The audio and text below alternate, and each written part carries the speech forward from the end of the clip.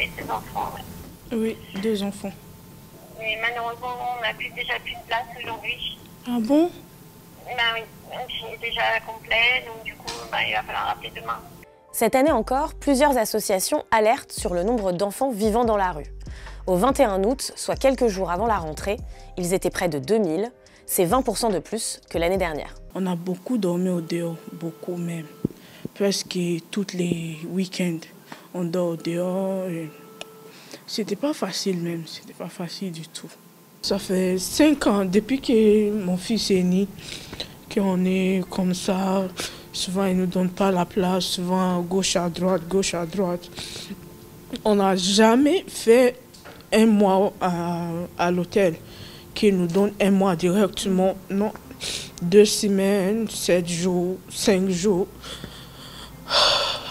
Mediapart.